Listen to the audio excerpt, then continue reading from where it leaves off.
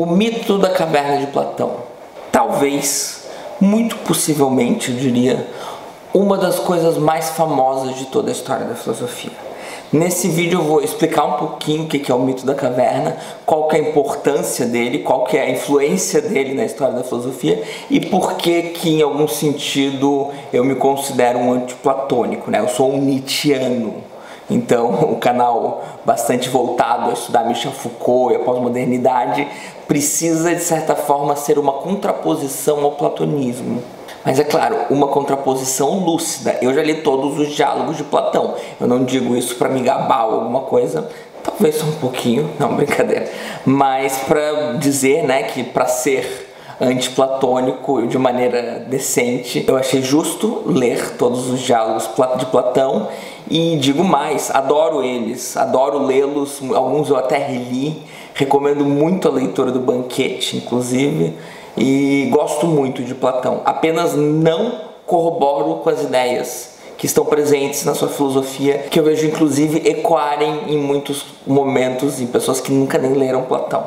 Platão talvez tenha sido o filósofo mais influente da história da filosofia. E eu vejo isso como um problema não necessariamente como algo bom. Então, pessoal, sou o professor Daniel Cidade. É, deixa já o like maroto, o comentário do engajamento, ativa o sininho para o YouTube mandar os vídeos para vocês e vamos lá discutir um pouquinho de Platão. O que seria o mito da caverna ou alegoria da caverna? de Platão, né? Porque muitas vezes a gente chama da alegoria da caverna, também pode, pode vir com esse nome, tá? É uma história fictícia, tá? O Platão ele se usa muitas vezes de alegorias ou de mitos para exemplificar, para trazer ao, ao, conhecimento das pessoas, né? Tá, são diálogos, então a pessoa está num diálogo, ela está tentando se fazer clara, estão lá discutindo sobre um tema, etc. Vamos trazer uma historinha, porque uma historinha transforma tudo muito mais fácil da gente entender. Então Platão, no livro 7 da República, vai, vai apresentar o famoso mito da caverna. Tem inclusive bastante conteúdo, bastante material sobre isso na internet, até ilustrações muito legais para vocês imaginarem que seria essa caverna, né? Mas o que, vamos descrever um pouquinho o que seria é, esse mito. Imagine seres humanos que desde a infância estão acorrentados, presos numa caverna, olhando para a parede da caverna. Eles possuem suas pernas e cabeças acorrentadas, quer dizer, eles não podem olhar para trás, eles são obrigados a olhar para essa parede da caverna e atrás existe uma fogueira. Essa fogueira de certa forma lança luz, tá? E mais atrás tem então a abertura da caverna onde existe todo um mundo ali, onde passam animais, passam seres humanos, de modo que conforme passam, né, esses seres, essas coisas que passam na caverna, é, de modo que conforme elas passam, elas criam sombras por causa da caverna, da luz. Não sou muito bom de física, etc, né? Mas você já consegue ter uma ideia de que as pessoas que estão na caverna estão acorrentadas e elas só conseguem ver as sombras das coisas. O que Platão vai dizer, a primeira coisa interessante que ele vai dizer é que as pessoas que veem só as sombras desde a sua infância, elas vão acreditar que a verdade, que a realidade não é nada mais, nada além daquelas sombras. Ele te convida, né, ele convida o interlocutor no livro para pensar o que aconteceria se alguém se libertasse dessas correntes. Na verdade, se alguém fosse obrigado a se levantar e ver o mundo real. Para Platão, a primeira coisa que acontecer é que essa pessoa teria dificuldade de enxergar. Tá? É, é, é, importante frisar a ideia de que no mito da caverna a pessoa ela é obrigada, tá? Então é uma tarefa que a gente não faz com tanto consentimento normalmente, que é uma tarefa difícil, né? É tão difícil que além de ser obrigado, a gente vai ter dificuldades para enxergar o mundo real. Por que isso é importante? Porque isso é uma alegoria a algo que Platão quer falar sobre nós. Se é verdade que existiria essa dificuldade de adaptação, etc., quando ela viesse a ocorrer, essa pessoa entender que o mundo que ela conhecia até então era uma ilusão, que na verdade existe todo um mundo lá fora, que é o um mundo que é a realidade concreta. Platão vai dizer então que essa pessoa né, passaria por uma série de dificuldades de enxergar, mas eventualmente conseguiria ver as coisas, mas mais ainda ela com um processo de adaptação, ela conseguiria ver o Sol. E o Sol é uma metáfora ainda maior. Eu vou até citar na, literalmente Platão. O Sol, ele é a fonte das estações e dos anos, governa tudo no mundo visível e é, de alguma forma, a causa de todas as coisas que ele estava acostumado a ver. Tá? Então é o Sol que permite, né, não só a fogueira, mas o Sol que permite que a pessoa visse as sombras, etc. Então o sol ele tem um papel central, né? O sol de certa forma ele representa o conhecimento ou talvez até mais a ideia de bem que é tão cara para Platão. O que Platão vai dizer é que apesar das adversidades iniciais, quando essa pessoa tivesse contato com o mundo real, ela se sentiria feliz, ela se sentiria impelida, inclusive, a voltar à caverna e contar para os outros, né? Para tentar libertar os outros, trazer os outros outros para essa liberdade. Porém, tem uma pegadinha: essa pessoa correria o risco de ser morta.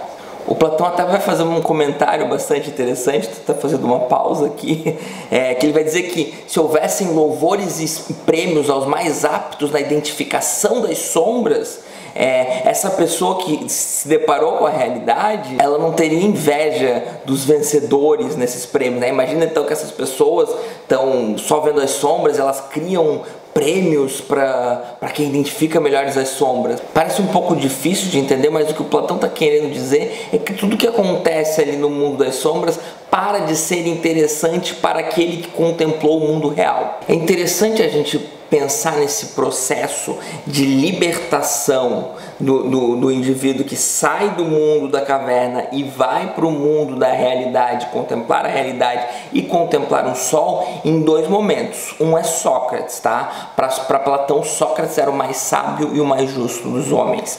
Então, de certa forma, o mito da caverna é uma menção a Sócrates. Sócrates seria então a pessoa que mais se libertou da caverna, a pessoa que entendeu de certa certa forma, a realidade e que quando voltou para contar aos, aos indivíduos que estavam nas sombras, é, foi morta. Né? Então Sócrates não invejava esses indivíduos por causa do conhecimento que possuía, mas Sócrates não tinha como não compartilhar esse conhecimento.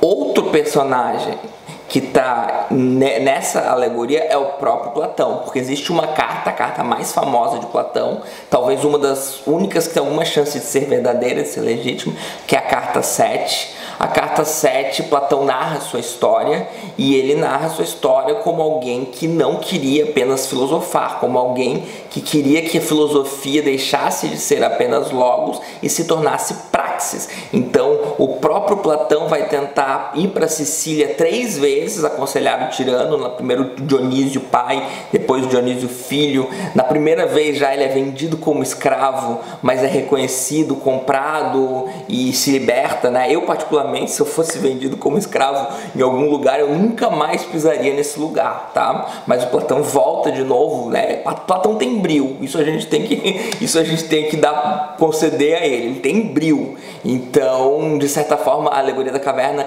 também não é só Sócrates, né? Porque a gente já tem até vídeo falando sobre como Sócrates e Platão se confundem, mas a alegoria da caverna é o próprio Platão, é o próprio Platão que é o, é o filósofo que sai da caverna, é o filósofo que passa a contemplar a realidade e ao contemplar a realidade ele é capaz de contemplar o bem, ele é capaz de entender a justiça, né? O mito da caverna é uma alegoria que o Platão usa para explicar a metafísica das formas ideais, que vai ter vídeo também.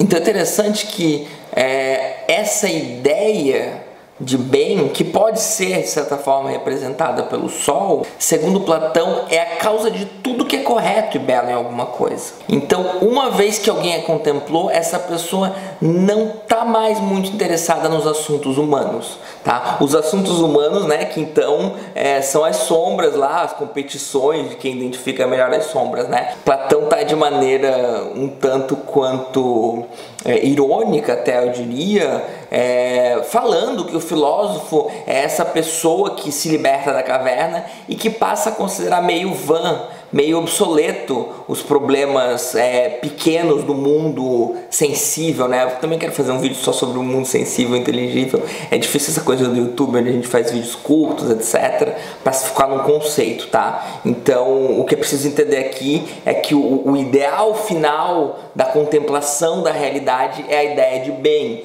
E o mito da caverna, ele é na verdade só uma maneira de explicar a metafísica das formas ideais de Platão e um pouco do Platão se, se situar e situar ele, situar Sócrates, situar o papel do filósofo, essa figura que está crescendo, né, que está nascendo. Então a filosofia meio que mal começou, né? Então tem os pré-socráticos que são filósofos cosmológicos, que estão fazendo uma coisa um tanto quanto diferente, e depois a gente já tem Sócrates como elemento central, Platão e Aristóteles, que são os três grandes filósofos da antiguidade, e tem então algo nascendo que precisa se legitimar e o mito da caverna de certa forma é, é o momento, é o ápice é, dessa compreensão, vai se tornar, eu diria, um arquétipo é, ocidental de como a gente entende a realidade, né? A gente entende o mundo atual como um mundo específico que ele é um tanto quanto menor do que um outro mundo. Se você entender que Platão vai influenciar muito o pensamento cristão, né? a ponto de Nietzsche dizer que o cristianismo